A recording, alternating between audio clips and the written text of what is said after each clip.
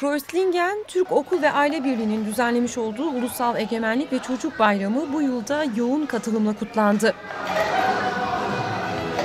Bu yıl diğer kutlamalardan farklı olmak üzere çocuklar için geniş bir salonda çeşitli parkurlar düzenlenip ve çok sayıda oyuncak standları düzenlendi. Kutlamada palyaçolar da çocuklar tarafından yoğun ilgiyle karşılandı ve aynı zamanda çok coşkulu geçti.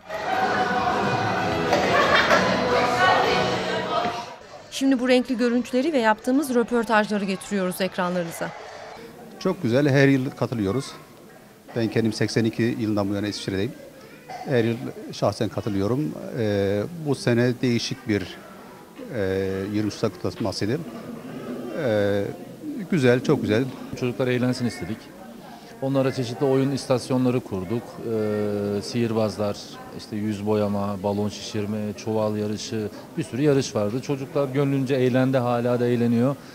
Anladım ki aslında 23 Nisan böyle olmalı. Çocuklar eğlenmeli diye düşünüyorum. Biz de memnunuz, onlar da memnun. Biz de mutluyuz, onlar da mutlu. Bu güzel gün bizim açımızdan çok güzel geçiyor ama asıl önemli olan bizden çok çocukların günü nasıl geçmesi. Çocuklar bildiğim kadarıyla çok eğleniyorlar.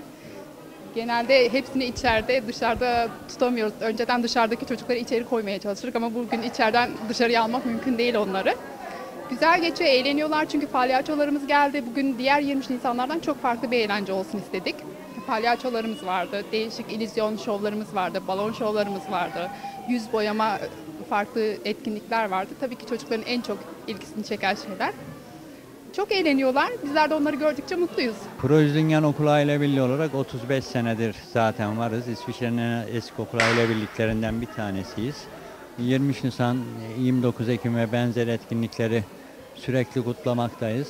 Ama bu sene e, kutlama programında köklü bir değişiklik yaptık.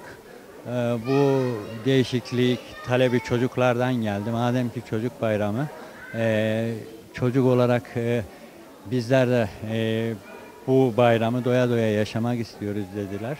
E, şiirler, e, korolar e, yapmadık bu sene. E, buna karşılık e, çocuklara çeşitli oyun parkurlarıyla sizin de gördüğünüz gibi çeşitli oyunlar düzenledik. Çocuklar bugün oldukça mutlu. 23 Nisan'a yakışır bir mutluluk içindeler çocuklar. E, Projdingen olarak e, Muhakkak bir hareketlilik burada var. Örgütlenmenin getirdiği şey, e, toplumsal destek var. E, hep beraber, Türk toplumuyla beraber ciddi bir şekilde e, bu nevi ve farklı etkinlikleri yapmaya devam edeceğiz.